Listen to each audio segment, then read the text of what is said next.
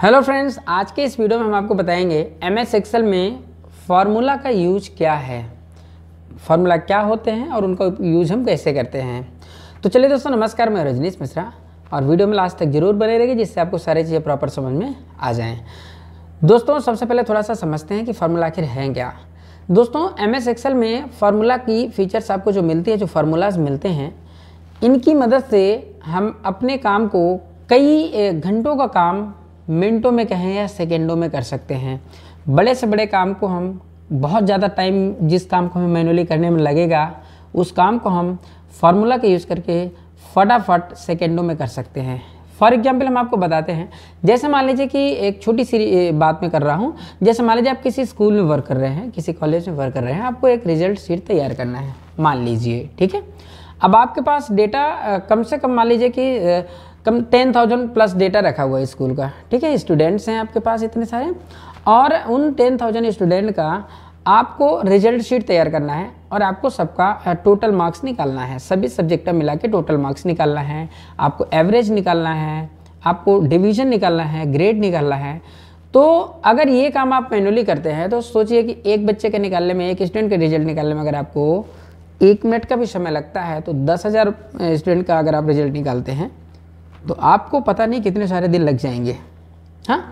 M S एक्चल आपको इसी काम को करने के लिए फॉर्मूला के फीचर्स देता है, ऐसे ही बहुत सारे काम करने के लिए। जिसमें आपको एक स्टूडेंट का रिज़ल्ट निकालना है, जो भी टाइम आपको लग जाए, एक मिनट तीस सेकेंड चालीस सेकेंड और बाकी के जो आपके बचे हुए नौ हज़ार नौ सौ निन्यानवे स्टूडेंट्स हैं, उनका एम एस एक्सल खुद निकालेगा सेल्फ निकाल लेगा। आपको थोड़ा सा उसको बताना पड़ेगा, बस।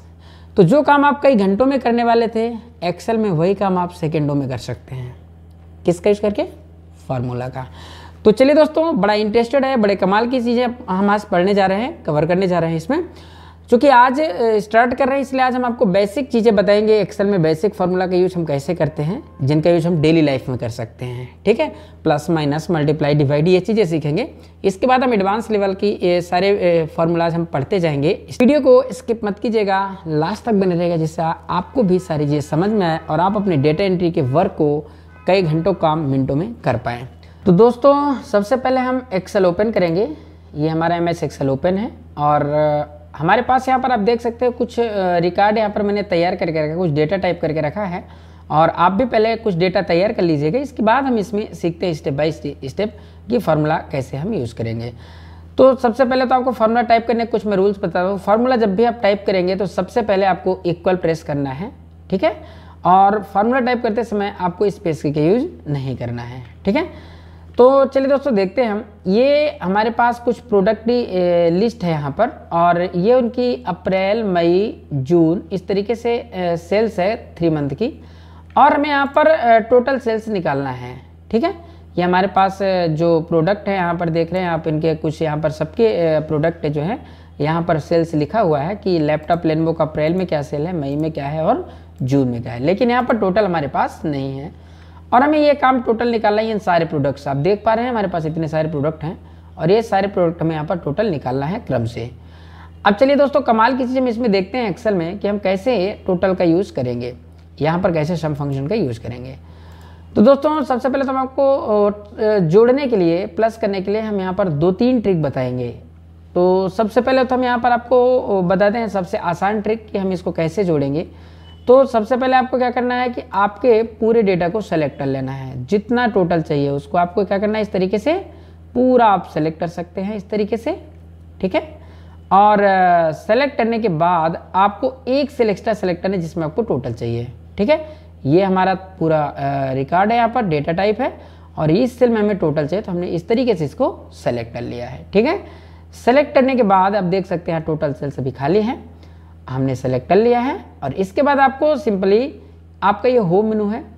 और होम मेनू में आप राइट साइड में यहाँ देखिए, ये ऑप्शन आपको मिलता है ऑटो सम का। दोस्तों, बड़े कमाल का ऑप्शन मिलता है ऑटो सम का, ठीक है? और यहाँ हमें ऑटो सम पे सिंपली क्लिक करना है।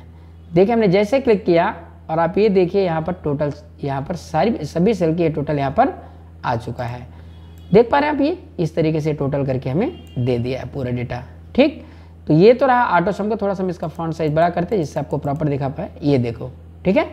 तो इस तरीके से अप्रैल, मई, जून तीनों मंथ को यहाँ पर टोटल कर चुका है, ठीक है? और इस तरीके से हमें अलग अलग डेटा को जोड़ने की आवश्यकता नहीं है टोटल करने की आवश्यकता नहीं है।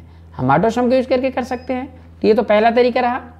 दूसरा तरीका देखिए, हम यहाँ पर आपको बताते हैं, इसको हम वापस डिलीट करते हैं और हम आपको दूसरा तरीका दिखाते हैं।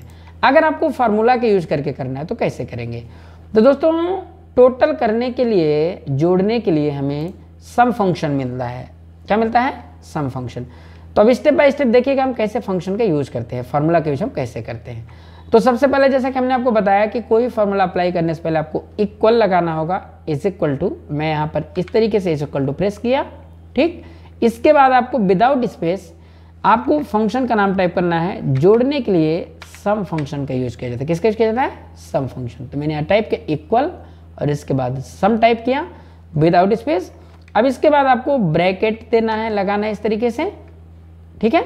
और इसके बाद हमें जितना डेटा हमें प्लस करना है, हम उसको क्या करेंगे? सेलेक्ट कर लेंगे। देखिए, मैंने यहाँ से और यहाँ तक मुझे जोड़ना है तो मैंने इन तीनों को इस तरीके से सेलेक्ट कर दिया। इसको बोलते हैं रेंज ये है सेल की रेंज C2 से E2 मतलब ये जो वैल्यू हमारी है यहाँ से C2 से लेकर के और ये E2 तक की वैल्यू यहाँ पर दे रहा है हमें, ठीक है? अब इसको हम सिंपली ब्रैकेट को बंद कर देंगे और कीबोर्ड से इंटर की प्रेस कर देंगे दोस्तों। तो ये देखिए यहाँ पर ये टोटल होकर आ चुका है आपके पास। तो ये आपने देखा सम फ़ंक्शन यूज़ कैसे करेंगे? हम रिपीट करते हैं। सबसे पहले आपको इक्वल टाइप करना है, इसके बाद सम फ़ंक्शन टाइप करना है एस यू एम इसके बाद आपको ब्रैकेट के अंदर रेंज देना है। कि हमें कहाँ से कहाँ तक जोड़ना है? यहाँ पर आपके जितना एरिया होगा, पूरा एरिया सेलेक्ट कर सकते हैं, जितनी संख्याओं को आपको जोड़ना होगा। ठीक?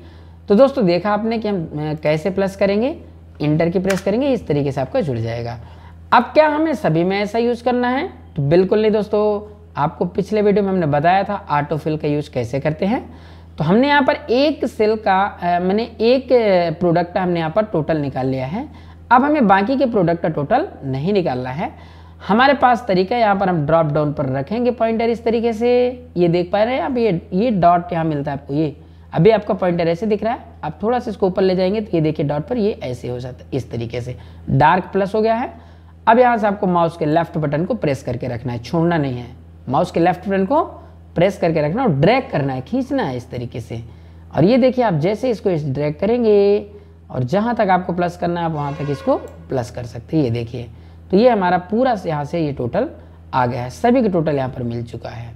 तो दोस्तों, आपने देखा कि हम सम फ़ंक्शन का यूज़ कैसे करते हैं और सम फ़ंक्शन का यूज़ क्या है, ठीक है? अब हम देखिए, ये तो हमारा सम हो गया। अगर हमें मान लीजिए बेसिकली कोई दो सेल है और हम इतना लंबा चौड़ा काम नहीं करना चाहते हैं तो हम आपको एक तरीका और बताते हैं। तीसरा तरीका हमारे पास ये है कि हम डायरेक्टली कीबोर्ड से टाइप करके भी कर सकते हैं। सबसे पहले हम इक्वल टाइप करेंगे। और इसके बाद हम यहाँ पर, जैसे मुझे कोई भी वैल्यू को प्लस करना है, जैसे मुझे ये यहाँ पर पचासी हज़ार है और यहाँ पर एक लाख बीस हज़ार, मुझे इसको दोनों को प्लस करना है। तो मैं यहाँ से मैनुअली टाइप भी कर सकता हूँ और डायरेक्ट मैं यहाँ पर क्लिक कर सकता हूँ। जैसे मुझे इस संख्या को और इस संख्या को जोड़ना है सब में तो ये पूरा रेंज ले लेता है, ठीक? ऑटो सब में भी पूरा रेंज लेता है। अब मुझे यहाँ पर केवल दो वैल्यू प्लस करना है, एक ये वैल्यू प्लस करना है, अप्रैल का और दूसरा जून का। इन दोनों को हमें प्लस करना है। तब हम क्या करेंगे? इस तरीके से। पहले इक्वल टाइप करेंगे, फिर जिस सेल को प्लस करना है डेटा को, उस सेल को सेलेक्ट करेंगे इस तरीके से एक्टिव करेंगे। इसके बाद कीबोर्ड से प्लस टाइप करेंगे और फिर हम दूसरे सेल पर भी क्लिक करेंगे इस तरीके से। और ये देखिए हमारा C two plus E two right और सिंपली इंटर की प्रेस करेंगे। और ये देखिए आपके यहाँ पर ये दो सेल का प्लस हो गया सी टू का और ई टू का। तो मतलब ये हमारी कौन सी सेल है? ये अप्रैल और जून की टोटल सेल्स ये है, ठीक? तो इस तरीके से हम डायरेक्ट कीबोर्ड से भी कर सकते हैं। अब देखते हैं दोस्तों हम, ये तो हमारा प्लस करने का था। अब हम अगर हमें यहाँ पर माइनस करना है तो देखिए सिंपली माइनस कैसे करेंगे? बड़ा सिंपल है दोस्तों। वही तरीका सबसे पहले हम इक्वल प्रेस करेंगे कीबोर्ड से। इसके बाद हमें जैसे मान लीजिए मई में जून की, जून को माइनस करना है। मई की जो सेल है हमारी, इसमें जून की सेल को माइनस करना है। हम कैसे करेंगे? तो सबसे पहले इक्वल टाइप किया। इसके बाद सिंपली जिस सेल में माइनस करना उस सेल को हमने सेलेक्ट किया यहाँ मुझे। मई की ये जो सेल है, इसको माइनस करना है ये से, ठीक है? तो मैंने यहाँ पर सिंपली डी टू सेलेक्ट किया। इसके बाद आपको माइनस लगाना है और इसके बाद आपको यहाँ आप देख सकते हैं क्लिक करना है सिंपली ये, ठीक है? तो मैंने यहाँ पर दिया कि मुझे इस सेल यानी डी टू में ई टू को माइनस करना है। राइट ये D2 E2 क्या समझ में आ रहा है आपको? इधर से डी और इधर से टू ठीक है? तो इस सेल का एड्रेस हो गया D2 इस सेल का एड्रेस इधर से E और इधर से टू तो इसका एड्रेस क्या हो गया? ई टू राइट और जैसे हम इंटर की प्रेस करेंगे, ये देखिए यहाँ पर ये सिंपली माइनस हो चुका है। अब चलिए हम वेरीफाई करते हैं। आपको डाउट होगा, ये सही आ रहा है, गलत। तो इसको हम डिलीट करते हैं और या कोई छोटी वैल्यू हम टाइप करते हैं। इक्वल टाइप किया। मुझे मान लीजिए 20 में माइनस करना है 5 को। तो मैंने यहाँ पर टाइप किया सिंपली इक्वल 20 माइनस फाइव और इंटर की प्रेस करेंगे तो ये देखिए यहाँ 15 आ चुका है। अब संतुष्टि हुई आपको? ये बिल्कुल सही रिपोर्ट देता है राइट तो इस तरीके से हम प्लस माइनस कर सकते हैं। अब देखते हैं अगर हमें मल्टीप्लाई करना है दोस्तों। देखिए हमारे पास यहाँ पर हमने ये रिपोर्ट कुछ बना के रखा, दूसरे टाइप में यहाँ पर ये प्रोडक्ट का नाम यहाँ दिया है। यहाँ क्वांटिटी दिया है, यहाँ पर रेट दिया है और यहाँ पर अमाउंट दिया राइट अब मुझे यहाँ पर इसकी क्वांटिटी रेट को मल्टीप्लाई करना है अमाउंट निकालने के लिए। मतलब हमें यहाँ टोटल अमाउंट अगर चाहिए तो कैसे निकलेगा? जैसे लैपटॉप लेनवो की 20 प्रोडक्ट सेल हुए हैं। एक का रेट है एक लाख बीस हज़ार रुपये तो यहाँ टोटल अमाउंट कितना आएगा? तो इस चीज़ को हम कैसे निकालेंगे? हम क्वांटिटी और रेट दोनों को आपस में मल्टीप्लाई कर देंगे। ठीक है? तो यह अमाउंट आ जाएगा। तो चलिए देखते हैं मल्टीप्लाई कैसे करेंगे। इसके लिए भी सेम हम इक्वल प्रेस करेंगे। थोड़े से हम सेल को बड़ा करते हैं, जिससे आपको प्रॉपर समझ में आए फॉन्ट साइज़ यहाँ से हम बढ़ा लेते हैं, ठीक है? सबसे पहले हम इक्वल टाइप करेंगे इस तरीके से, और इसके बाद हमें मल्टीप्लाई करना है ट्वेंटी को। तो मैंने इस सेल का एड्रेस क्लिक किया, यहाँ सेल एड्रेस आ चुका है जे टू ठीक है? जे और इधर से टू राइट तो ये हो गया जे टू इसके बाद मल्टीप्लाई कीबोर्ड से आपको मल्टीप्लाई का सिंबल देना है। और इसके बाद आपको रेट पर इस तरीके से सिंपली क्लिक कर देना है। देखिए, मैंने जे टू में के टू को मल्टीप्लाई किया मतलब इसमें इसको मल्टीप्लाई किया है। क्वांटिटी में रेट को मल्टीप्लाई किया। और जैसे आप इंटर की प्रेस करेंगे, ये देखिए आपके सामने रिज़ल्ट ठीक? चलिए, इसको दूसरे को देखते हैं एक बार, फिर से रिपीट करते हैं। सबसे पहले आपको इक्वल टाइप करना है। ठीक है? इसके बाद आपको क्या करना है? थोड़ी सी बड़ा करते हैं सेल को, जिससे आपको प्रॉपर समझ में आए। हम सभी सेल को थोड़ा थोड़ा बड़ा कर लेते हैं। ठीक है? इस तरीके से थोड़ा बड़ा कर लिया। देखिए, हम फिर से रिपीट कर रहे हैं। इक्वल इसके बाद हम मल्टीप्लाई करने हैं जिस सेल को। क्वांटिटी में हमें मल्टीप्लाई करना है रेट का तो हमने क्वांटिटी का एड्रेस दिया। मल्टीप्लाई लगाया कीबोर्ड से और इसके बाद हमने यहाँ क्लिक कर दिया। किस पर? रेट पर। और जैसे इंटर की प्रेस करेंगे, देखिए यहाँ पर ये टोटल आ चुका है। अब चलिए हम देखते हैं इसको संतुष्टि के लिए कि हमने सही काम कर रहा है हमारा सिस्टम या गलत काम कर रहा है। इसको हम डिलीट करते हैं कुछ छोटी वैल्यू देखते हैं। इक्वल मैंने टाइप किया टेन मल्टीप्लाई बाई फाइव और हम इंटर की प्रेस करेंगे तो ये देखिए यहाँ पर फिफ्टी आ चुका है। ठीक? तो ये सही काम कर रहा है राइट अब देखिए हमने एक जगह पर मल्टीप्लाई कर लिया। क्या हमें सभी जगह मल्टीप्लाई करना है? नो no, बिल्कुल नहीं। आपको यूज़ करना है ऑटोफिल का। किसका सुना है? ऑटोफिल का। जैसा कि आपने अभी शम में किया था। तो बस आपको क्या करना है? एक जगह आपने यहाँ पर ये देखिए आपने ये फ़ंक्शन लगाया है इंटर किया और ये आपका रिज़ल्ट आया।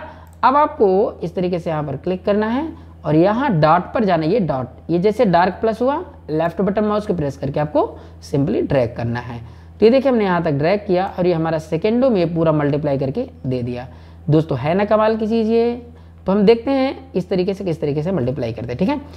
अब हम नेक्स्ट देखते हैं, जैसे हमें डिवाइड करना है अगर तो डिवाइड करना भी सेम बड़ा सिंपल है यार फ्रेंड्स आपको कुछ नहीं करना है डिवाइड करना है तो बस ये मल्टीप्लाई का यहाँ से आप सिंबल हटाइए और यहाँ पर लगाइए डिवाइड राइट ये देखिए। बड़ा सिंपल है दोस्तों, ना? जहाँ हमने मल्टीप्लाई लगाया था, अभी थोड़ी देर पहले हमने यहाँ मल्टीप्लाई लगाया था। इसको हमने हटाया, इसकी जगह किया डिवाइड और जैसे हम इंटर करेंगे तो ये देखिए हमारा ये रिज़ल्ट आ गया हमारे सामने। राइट और बाकी में चाहिए तो हम यहाँ पर रखेंगे और ड्रैग कर देंगे, सबको ये इस तरीके से रिज़ल्ट निकाल देगा।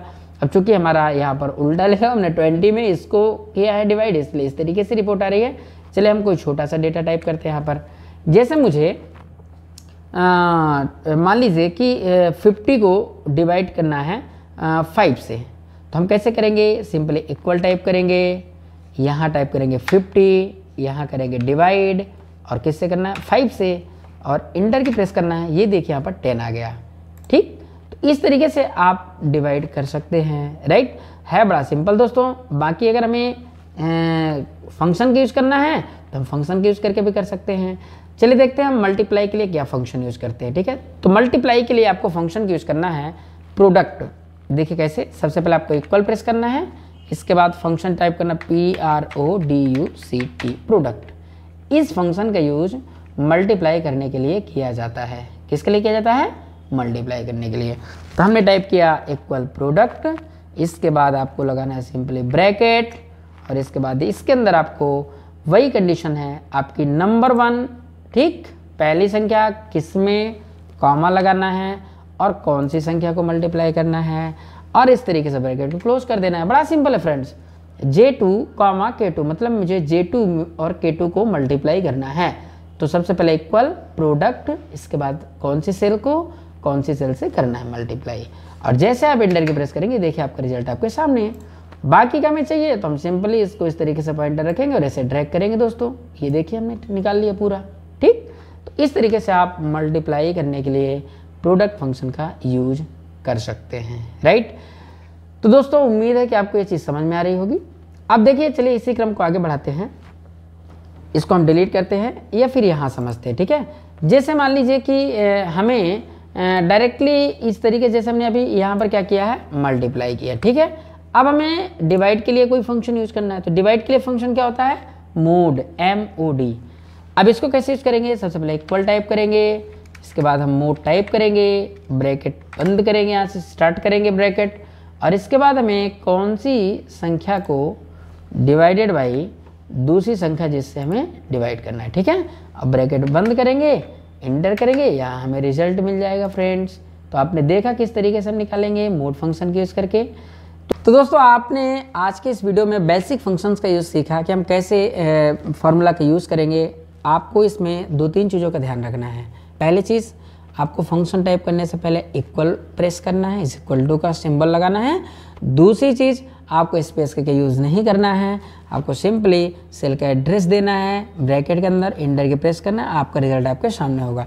दोस्तों, आज की इस वीडियो में मैंने आपको बेसिक फार्मूला यूज़ बताया है और एडवांस जितने भी फार्मूलाज हैं, आपको स्टेप बाय स्टेप डेली हम आपको नए फार्मूला के साथ मिलेंगे। तो चलिए नमस्कार दोस्तों, मिलते हैं नेक्स्ट वीडियो में। Thanks for watching